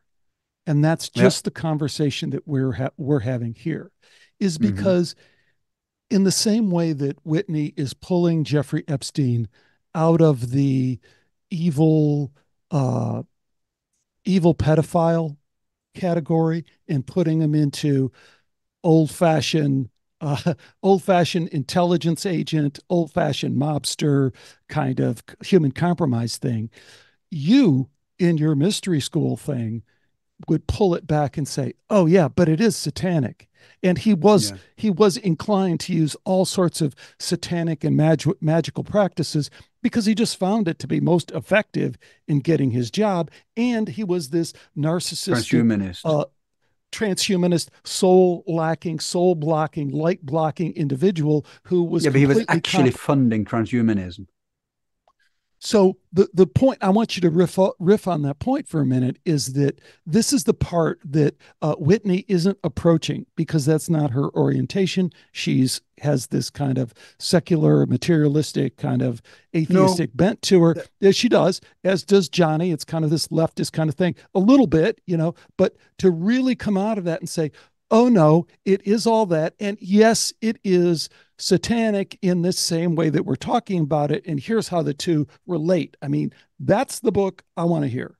Yeah, but uh, uh, I don't know if she writes about it. Uh, but if you listen to her interviews at Redacted, those guys are very much tuned into the transhumanist thing. There you'll see that she's completely on the money on that too. She can't avoid it if she want to be a good journalist because that's kind of where the crumbs are ending. She, she doesn't matter what she believes. She sees very clearly that there is a philosophical overlayer among these people, and that's where it's But. Al, Al, don't you think there's two ways that these guys process the transhumanism? One is from a very secular perspective. They say, oh, there's a bunch of rich guys getting together in a smoke filled room and they want to reduce the population of the planet by 90% and control all the resources. Oh, okay. That doesn't require any understanding of what it might mean to be blocked from the spirit in a way that causes you to go to this dark shadow thing. It's more like, hey, man, can't we make some money out of this? Can't we kind of scheme in a very ordinary way? And I think Epstein because the people who are tuned in know that no, he was building these satanic temples, man. I'm telling you, it was not just like let's make some more money kind of thing. And transhumanist science labs. Funny how these things uh, converge all the time, huh? Well, uh, so speak to it. Do you see where that's not being covered in that way?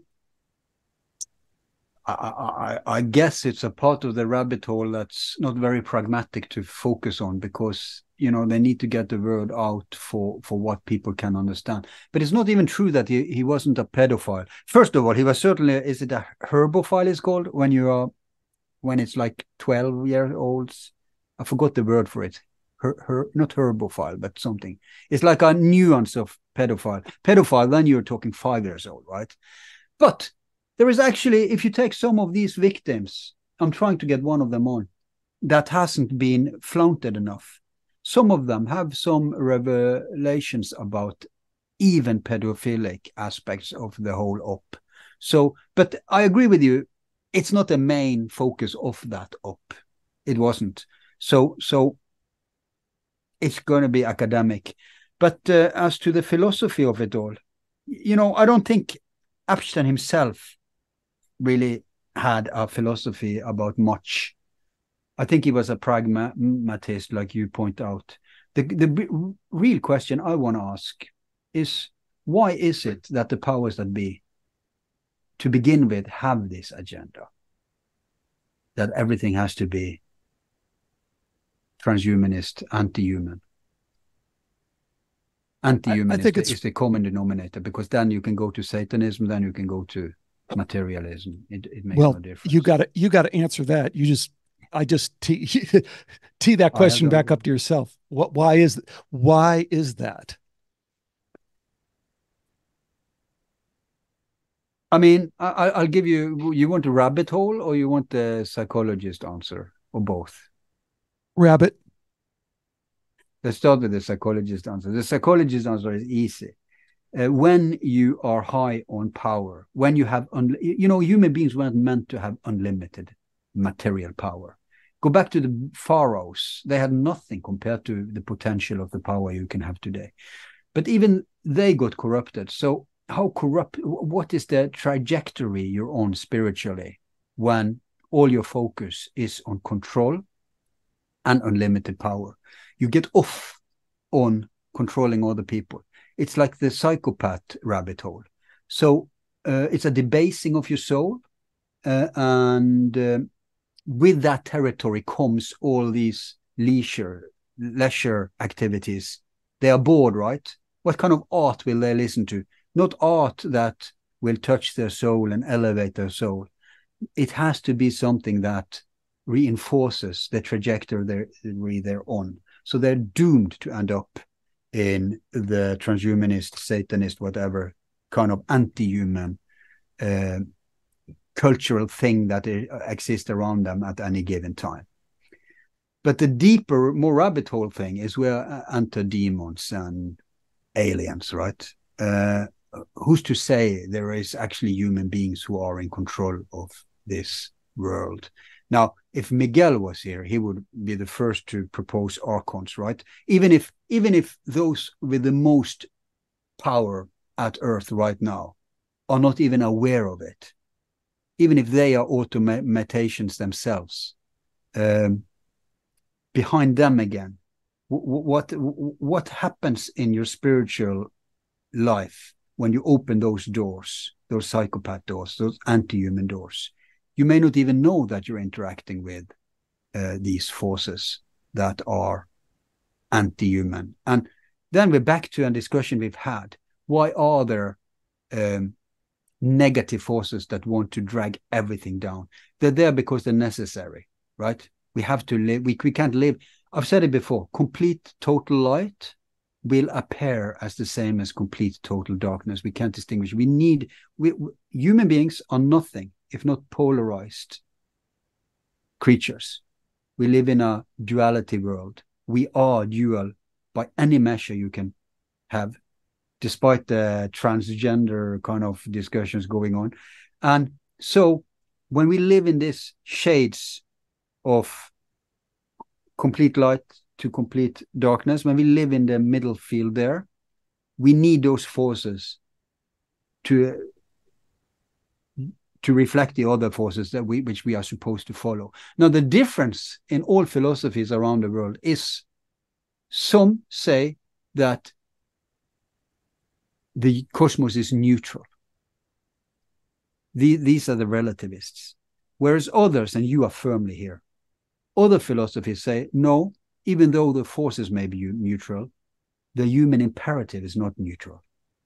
We actually have a task, we have a programming, and that is to seek the light, that is to uh, develop into the light. And that's the only way we can liberate ourselves from this wheel.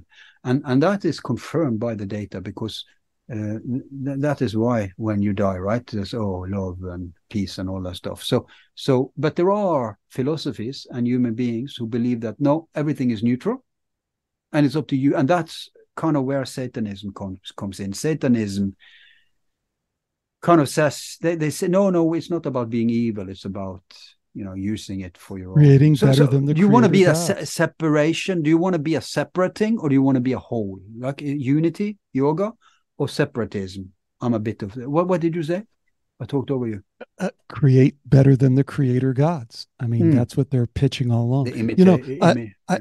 I really like where you're going and I, and I love that you came back to the you know the the the point that I, think we're in sync on is that the data there is some data there you know you have some data from different schools different philosophical data. I'm more drawn to the scientific data because if you look at after death communication is another data set. You know a lot of times i just talk about near death experience.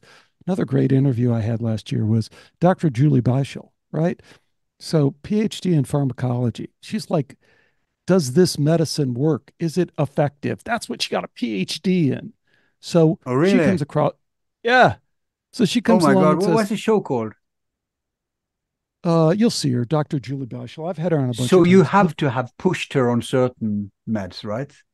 No no no no. That was her her training her background. So she, She can't a- deny it's like the ai she can't deny it if you but but here, here where i'm going with this because she Yeah. is now the world's foremost authority on after death communication so oh, what she's, she's done- already one of us okay Yes. Okay. So she's Okay. taken her educational background and said, oh, okay, I understand the scientific method. I understand how to do a controlled, triple blind, quadruple blind experiment. What happens if I shine that beautiful light of science over here to after death communication? Bingo! It gives the same answer that near death experience gave. And understand, those are co- two completely different data sets. One is this old guy who went into a hospital and had a heart attack, and Yeah. another guy is a grieving widow who lost her husband. These are completely different data sets, or a, grie- a grieving mother who lost her son, and you know, yeah completely different data sets. Same answer: pointing love, same. Light, Yeah. connection, mm-hmm. other mm-hmm. dimension, greater dimension. Same answer. So I like that you came back to that. What I wanted to throw on the table, and this is a repeat for anyone who's heard our conversations before, but it needs to be needs to happen again because we're all going around in that spiral staircase and looking down and going, "Hey, I was just right there a minute ago," and that's that. I like the yogic perspective. I think, you know, Mickey Singer is one of my favorite yogis. He's an American. He's a entrepreneur. He's a super wealthy guy who built his own business and he wrote a best-selling book called Untethered Soul and then he sh- he's shut up. He doesn't talk anymore. He doesn't come out and do he's not on Twitter, he's not on you know, he just Okay. shuts up and is his yogi thing. But what he has said is he worked in the prisons for 30 years.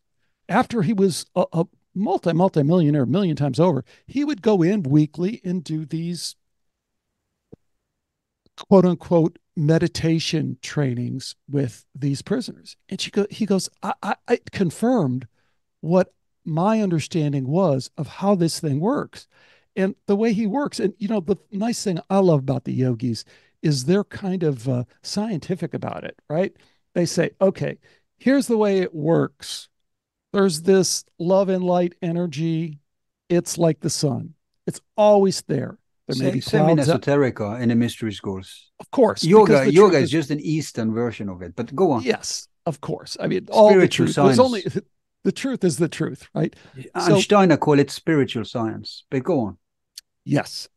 So he's so he's telling the prisoners, look, bro, the sun is always shining. God's light, God's love, divinity is always there. It might be cloudy outside. It doesn't matter. We all know that if we flew up in a plane, the sun's still there. Every goddamn soul, no matter how bad you are, how dark you exactly. are, get the same amount now, of sunlight. So he goes to the prisoner. He he goes to the guys in there for murder, and he says, "Hey, see if this fits for you. Sometimes when that love and that light moved through you, it hit a part that just you blocked it because." Your dad raped you when you were five years old or because this happened or hmm. because I don't know, you're just a hateful being. But it just hit a spot and bam, it was blocked and it stopped. And you know, after a while, that blockage became so familiar to you that you identified more with the blockage than you did with the light. Mm. And then lo and behold, you found some other people that had the same thing. And then you guys were shooting up heroin in the same spot. You were smoking crack in the same room because it kind of scratched that itch of that same blockage. But the light was just shining through. You're the one who blocked it. And like you said about the brainwashing, you can unblock it. It's just if you don't have the school, the tools and the skills and all the rest of that, it might be kind of hard for you. But the the God didn't abandon you. He's still shining the freaking light. And for you to buy into this idea that this puny little demonic kind of entity it's just a tiny little blockage in the grander scheme of things. Don't get too hung up on it. So that's a message. What was the result of that uh, approach? Incredibly effective. I mean just incredibly but, incredibly effective okay so not everyone is too far gone but if your wife was here wouldn't she say that there are exceptions that you just can't can't reach. I mean, we're not allowed to talk to, about to be the devil's advocate. Not allowed to huh? talk about. We're not allowed to talk about my wife on the show. She doesn't like that. No, but I'm I'm talking about like uh, uh, what she's into. For those who doesn't know, it are the exceptions. It's the criminally insane or whatever they will be called. Um, those who are no, too, no, like seriously, seriously, seriously. It, with, with respect to her, in the sense that if she doesn't want you know that to come into this but, but forget about her. my point is uh, uh, the the area is the forensic psychology? Yeah. So wouldn't there be people who you couldn't reach with that approach? That's that's the whole point uh, oh absolutely uh, uh, isn't there you're ted bundy let me right? let me ask you this because i don't know the answer to this is so in the mystery school world do you see people I know, I'm sure you do. One, see people that are in it for 10 years and never get it, in it for 10 years and wind up having it twist and turn them into a negative way. I mean, talk to that. What's going on there? It's no, the but same, that's right? that's that's the human that's that's the human nature. I mean, that's a certain percent that You can't get away from that. Uh, I'm more questioning whether, like, there are two schools here of philosophy one school say that. Uh, what do they say in, in, game lingo? They talk about role, uh, real player and fake player. What's what's that word? Uh, role player. And, RPG. uh, oh yeah, yeah, right. I know what you're talking about. Riz Virk talks about all the time. Yeah. yeah, yeah. The one that's not real, right? That there may be because if you have a soul, you have to be redeemable at some level. Have to be, if you're a human being, if it's if you put in very advanced AI, if there was advanced AI among us today, we agreed that if they're advanced enough, we cannot tell the difference. The only way we could have told the difference is if they are redeemable or not, because the AI is a slave, right? So what if there are AIs like that, only they're not AI because we didn't create them, but so they have been created by something or someone. like if you're in a simulation, they are the agent Smiths, right? Those, yeah, there you would have your Ted Bundys that couldn't be explained by being beaten up from their two years old or whatever, right? Uh, it just seems that some people are unredeemable in their deep nature. But of course, how can we know? Because we don't know, and we would need to know everything about their life story and whatever happened. So it's very hard to make those judgment calls. But if theoretically there are some human beings who just are through or through evil, to use the scholarly term, and they are unredeemable, and no matter how much sunlight you flush on them, nothing can happen. Per definition, they cannot be human beings. They cannot be a part of the of the whole. I identify more with the first part of what you said. I totally identify with it. And I think it's also another beautiful contrast that you're doing with the AI is that no, I believe every soul is redeemable. No matter how it appears to us, it's redeemable. And I think But could there be soulless people out there? No. And that's the problem with the co- here the the problem with the coil guy that you interviewed. The first the, the first and only Yeah. thing I'd say is uh hey great, it's just not supported by the data. So at this point we have thousands and thousands of accounts that we can verify in some important ways. So again, I, I- point out that there's these different data sets, right? There's the near death experience data set. There's the after death communication data set. There's other data sets.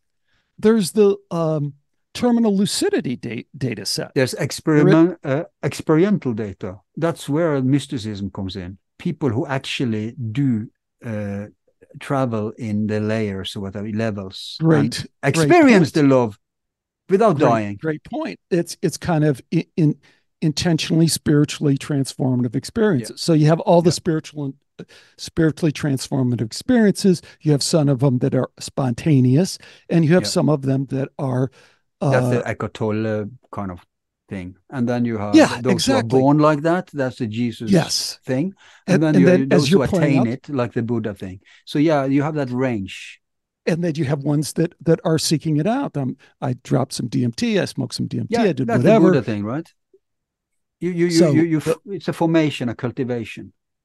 Yes, It's it's the point of being a yoga or, or an esoterician. Yeah, right. we can't So all we it- can't all be born like that, and we can't all wait for the illumination to hit us by coincidence, right? So most of us are on that uh, approach where we're trying deliberately. I mean, your skeptical show is a version of that. You are do you, you're taking everyone on a collective journey. Uh, where you want to see how much it can reach, but of course you're working on it in your private life too, right? So, so we are all just souls on that journey. But what is the point? You wanted to go Well- somewhere with that. where I was going with it was just a slight twist where you do. I- I agree with the first part of what you're saying. I, think there's a there's a line there that we're drawing that we're saying there's other entity there's other forms of intelligence as you said that aren't going to experience that in, i anywhere near the same way it's just it's like it, it is not a, a parallel thing it's not the same it just is different you know You know, that's the definition of evil. That has to be the definition of evil. When you encounter intelligence, it could be through a human being, but when you encounter, it can be the system, like the bureaucracy, which is a soulless beast. When you encounter intelligence that is not connected, that is, that is unempathetic, that is not a part of the whole, that must be the definition of evil. Well, isn't that funny? Isn't that funny form. when you say that? I, I, isn't that Luciferianism? Isn't that Luciferianism? Is to I mean, we could discuss definitions, right? Someone would disagree. Correct. not loose- Cor- uh, cor- correct, correct. Yeah. You're right. You're right. Let's not get pulled into that. But I think we can all identify with the the, the excitement of knowledge, information, and how it can be addictive in a way that we just have an innate sense that it's pulling us from spirit, that it's pulling us from some deeper experience. We just we understand there's this tension between our iPhone and the beautiful sunset. There's a tension there that we can't put our finger on that when we just Focus a on picture that of a sunset and an actual sunset. The AI, AI can't tell the difference. The AI can't tell the difference, or AI, or AI generated. But the AI could not tell the difference. If you're alive, you can tell the difference. If you have a soul, I mean. So, so where Right. do you take that? Where do you take that? I mean, uh, just that we, we end up where we've always been. That I, I'm not buying into the AI revolution thing. Uh, we should go over to predictions because I think uh, the nightmare scenario in front of us. I mean, last time we, we, we did predictions, we thought it was the end game. Is I, I promise you one thing, Alex. 2024 is what what you'd say in English, make it or break it. That's it. It's not going to go beyond 2024. 2024 will determine whether we are and waking up in dystopia or if we can trigger. I, I'm not going to say paradise is the alternative because we're so far away removed from it. But uh, you do you want to venture some predictions? I, I certainly have some, but do you want to? No, no, you're already you're already halfway there. Please go ahead. Well, okay. All I can say is uh, everything is converging. Uh, the last hurrah of the elites is going to be 2024 because they are so afraid of losing the power. Look, when Biden won, I got this feeling inside of me. Um, I couldn't explain it. It was just intuitive, and I, I, I kind of, kind of looked at Donald Trump like I think I would rather have a coffee with Biden than with Donald Trump. Depends. I'm I'm not like sold on Trump at all. But when Biden, when the, uh, he was declared the new president, I got this bad feeling. It started in my gut and it just spread in my whole body, and I was like feeling very disheartened, very disheartened. Intuitively, I knew this was the comeback of the powers behind it. It's nothing to do with the mask Biden, of course, right? So so all Trump is is an actual individual who's not backed by these evil powers for all his faults and limitations. He's a human being. But the Biden regime is a front for the machine. And they are terrified after Brexit and everything else. They are not going to uh, lose power again they are hell bent on not losing power again because they think, remember, they project, if they lose power, they are going to be busted. Because it's all becoming so extreme now that if if the plebs get some semblance of power, if there's some semblance of democracy around, consequences may come. For everything that's happened, you know, Epstein, 9 11, JFK, the jabs, the, notwithstanding the normal corruption and everything else that's in the system, CIA need to CBCDC, everything that they are pushing for will fall if they lose power. There's no way they're going to lose power. And they used to have uh, the left cheek and the right cheek. Right now, suddenly you have a free roaming person that like Trump, and he has even he's kind of a narcissist, so he has even a personal vendetta against many of their their puppets. So that is an extra incentive. And the next likely person is even worse. The next likely person want to change the system. Trump couldn't change it if he wanted to. But the next likely person knows how to implement consequences in the system. That's obviously Bobby he has a whole career of making them accountable. So, Alex, there's no way they're gonna uh, release power. And you could say, yeah, but they just have to do what Andy Paquette has demonstrated. They just have to, you know, trigger the algorithm and hijack. No, they can't even do that because they have lost so much support now that it's going to be a landslide and that's always been the problem for election rigging is landslides uh, if it's like 55 45 they will always win But if it's like 80 20 or even 70 30, they have no chance. There's no way they can get away with it. No matter how much they rig the pulse, how much they rig the machines, there's no way they can beat a landslide. And it's going to be a landslide. Um, and so Tucker Carlson is uh, seeing the same thing, he, but he understands that the way they're going to do it, they, they have some options. They could try to like kill Trump. We wake up during 2024 and Trump had a heart attack. Oh, how, how tragic. But it's not going to be enough because, first of all, so many people are not going to buy, buy it. Even if Trump actually dies of natural causes, everybody's going to blame him for having been taken out. And what does it help to kill Trump when they still have uh, Bobby around or someone or, or Vivek, right? So there's two. So they can't do that one. They cannot. They tried and they can't smear them. They tried ignoring them, smearing them. It doesn't work. So that's off the table. All the classical uh, go-to solutions are off the table. Uh, character assassination off the table. Actual assassination off the table. Now, the last card then is what Alex Jones called, uh, how was it called? You know, you introduce a, a crisis and then you offer a solution for that crisis.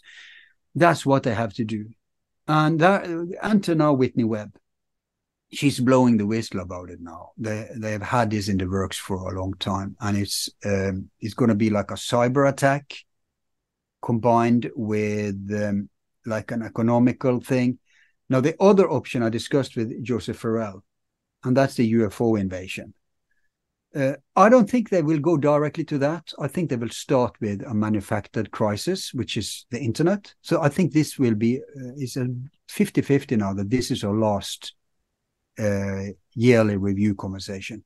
I'm not so sure we can have this conversation December 24 because they have to take down the internet uh, and they have to take down um, the money system so I, I think because you know they will rather die, they will rather take everyone with them than dying, and dying for them is losing power, especially if it means someone like Bobby Kennedy or even Trump coming to power. So this is the, this is the only card. It is to manufacture a global crisis, amp up a world, a third world war, and then surf it out based on that. That's just a logical analysis of what's going on. The only other, uh, the, the other 50% is that we actually make it. That Trump, Vivek, or Bobby somehow makes it. it, it some of the other candidates, they are too low on the scale. Like I'd even take Marianne Williamson to any of these, or, or Jill Stein, but they have no chance in hell but uh, I can see one of these three, and, and and this is so important because where the American machine goes, so goes the world. If you get someone like Bobby in control of the American machine, there's no way Klaus Schwab and these people can implement their agenda. There's no way. CBCD, goodbye, and, and, and Bitcoin will come and save the day. Um, there's no way WHO will be able to implement. They are taking over. You know that they are of course you know, but if listeners doesn't know, WHO are uh, creating these days uh, in the Western world. I, I, think even China may on, be on board, but it's a way that where they can uh, have martial global martial law. So you just need a new fake virus, but that thing doesn't work if the American machine isn't on board. This is why I think the crisis they will have to do before they do a global health crisis or even a fake UFO invasion will have to be something to do with the internet, like cyber attacks or Iran or Russia bullshit. Because like Whitney Webb uh, documents, uh, they blame they they have the ability. It was actually Assange who leaked this, the Vault thing. They can make fingerprints for these hacker groups, seemingly belonging to China, Russia, Iran, whatever and it's manufactured. So, and and every time they say, "Oh, it's a Russian hacker group," we just have their word for it. There's never evidence. So that's what they ha- will have to do. It will have to be an internet-based takedown. But she talks about like even on the level of it's not just that the internet will parts of the internet will go down. It's like cars will be autopiloted to run over people, etc. Check her interview on, for example, Redacted. This is what Tucker Carlson and so many others are seeing coming now. Uh, and it will have to be 2024 because they will have to stop someone taking over the American machine. The American machine is spear fronting where we are going, and that's why everybody has to care uh, about the presidential election. I'm not saying a president is it can save us, but it's certainly a clog, a big enough clog in the in the machine for their control thing. I mean, the problem is is mainly in America too. It's the deep state, it's the alphabet soup agencies. So the solution is from America, and the problem is for America. WHO and WEF, they couldn't do anything without having America on board. So this is it, man. 2024 will be their last hurrah. They will pull the final stretch of the claw and either manage to grab what's left of our autonomy and freedom, or they will fail big time. And the, the world on the other side will be beautiful, man. Beaut- everything will be beautiful because it will be a trajectory in the opposite direction of what we've been going to. Back to remember 2015, 16? That's the best time in the world you know 2012 to 2016 that's like a little little glimpse of paradise. It's like the hippie era suddenly coming back online virtual in the virtual world. And that's where we will be going back to if if they don't make it. So it's a make it or break it and that's my prediction. We may not have this con- if we have this conversation next year alex it means uh, we have a good reason to say cheers or skål, as we say up here. Skål. What do you think uh, about that, Grim? Uh, I'm sorry to pee on your pie, but uh, it's just an it's an objective analysis. It's not uh, anything I want, of course, but well, that's why you know I was being totally sincere in how much I appreciated you shifting to that other perspective because that's what I want to, that's what I'm most interested in because it's, again, the data. If the data is this is a lesser realm, then all that just takes on a whole lot less significant meaning. You know, and I always think about these apocalyptic events and I think about, you know, there's people right now in Ethiopia or in Chad or, or in Palestine. Their apocalypse or in America. was in America, sure but their apocalypse at the scale that you're talking about was last week. Last week. So right now we can yeah, we can be ethnocentric and we should be, and that's the way it is. What's only our experience. So I try not to get too hung up in that. Um, the one thing I guess if I was going to be pulled down to that level that I, I just feel compelled, I just don't know how people, you know, you did the thing with Whitney Webb. Trump's on the plane. Trump's on the Epstein plane, not once, not twice. He's on multiple times. Trump yeah, is a but. Oh, you know, it's like when I, I, I interviewed uh, Sean Stone, you know, Oliver Stone's son. And I said, because the other thing about Trump is Trump is the vaccine. He is the vaccine, right? He put the the the the medal on Fauci's neck. you know, the gold medal. And literally. he has an autist, and he has an autist son. He knows it's the vax. He, he hired Bobby Kennedy. So the point, the, the point, the point being, is, Trump is a human you, being. He's ignorant.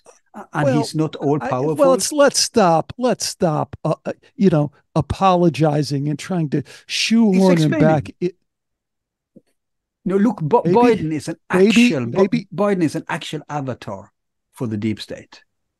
I think Trump. Trump. I think the mis. I think the misidentification on Biden, and again, I think you're in a better position to do it. Is that is truly satanic, right? So yeah. to have that level of control, and to be in your face about it, it is Hunger Games level uh, uh, control, and it's in your face, you know, in a way that says, you know, we can do this and we don't care that you see it because enough people don't see Yeah. it. It's in your face. That is that uh, it, it has the satanic ring Yeah. to it in the same way that we're saying, you know, that obsessive uh deboxing or, you know, unboxing the iPhone, like, when I turn this thing on, it is going to be so cool. And it vibrates. That screen, oh, it's even brighter than it was before, you know. We understand that there's a Luciferian connection to intelligence that it, like we're saying, is different than when I just look at the sunset and realize that I don't have to think. Period. I don't have to think. I am here. I am it. So there is this contrast, this duality that we live all the time. So I think it doesn't it doesn't help me to get into that because I, I'm not sure. I, I'm taking it as a scientist. I'm not sure how real it is and how much it really matters. So my prediction for 2024 is AI advancement beyond what anyone is really even imagining because if you get into that community you just see it's every day every day it's leaps and bounds it's you know you mentioned the chess program But you know Well, they're going to replace all their puppets with AI, right? That's the that's the goal. It's the only way because even when they have total control in the system, the problem is the human factor. Everybody has a soul. There's too many whistleblowers. Look, at least since Kennedy, but uh, I mean, at least since 2001, but even since Kennedy, they have rooted out all good people. You're doing your job, bam, you must go. You're mediocre and corrupt, let's promote you. And it doesn't help. People, human beings are popping out everywhere. I'm a Edward Snowden, I'm whistling, uh, the, uh, I'm blowing the whistle. Human beings are the problem because if they have a uh, fundamentally anti human system, in place. If that's what they want to achieve and that's what they're working for, the problem is that human beings are working in this system and you have these random people waking up or connecting the dots or just doing the job, no matter how naive they are. Mark Ober, right? He was surfing the Wall Street far off. My grandfather knew Wall Street was corrupt and he was a naive in there and, and still he had a human experience. This corporate world is bullshit. That's what's happening. You need a I to replace. You need intelligence with no connections to the whole. And the reason I'm saying this is a bigger problem than the guy dying in Chad is because it's not that they are going to overnight implement a nightmare and a dystopia for all of us. It's that they're removing our, on a collective level, our possibility to create the opposite of a dystopia for the world. Because the every human being, no matter how misguided they are, no matter how much they disagree, I would venture even Nazis and Zionists believe this, is that they think we can create a better world. The problem is my better is the right one, yours are bullshit. That's the human thing. But fundamental programming is a better world. Now, um, I said to you in the last review, or two reviews ago, that there's something new going on for the first time, this pandemic thing is a glow. You can't escape it. You can be a hermit in Tibet and you're still a part of this one game. Now that's been amped up and amped up. And now the CBCD, all that bullshit. So that's why it actually is a difference. Look, I'd rather live under the Pharaoh, okay? I'll join Moses and I'll get the hell out of there. Maybe even the, a Viking colony is, is, is better. But this thing, man, there's no escape. It's like the matrix system is taking, googling over the whole thing. And what I'm saying, I'm not saying that we'll win. I'm just saying 2024 will be the. We said end game last time. I don't know what I was smoking. This is the end game, man. There's no other, not 2025, not 2023, not 2026. It is going to be 2024, or maybe actually 25 because 24 will determine who wins and then 25 will be implemented so we'll see i hope i'm wrong please please be wrong you know my final two hours man i think we should throw in the towel Yes, two hours we will. straight. I was just going to say, you know, my final prediction related to that goes back to when we were talking about the AI thing. I think there's a potential silver lining in the AI that not a lot of people are thinking about, and it's uh, idealistic pursuit of truth that is part of the, you know, the medium is the massage is part of the medium as they've defined it, is going to create more of a barrier than they've anticipated and could even yeah. be somewhat of a tipping point. So it could be a part of the solution. That's it. That's awesome. This is a, a, a untraditional kind of end of year thing, but it was fantastic. I just love connecting Loved with it, you man. so much. Great. Always. Thanks again to Al Borealis for joining me today on Skeptiko. What are your predictions for 2024 and beyond? What are your predictions for AI? Let me know. Until next time, take care and bye for now.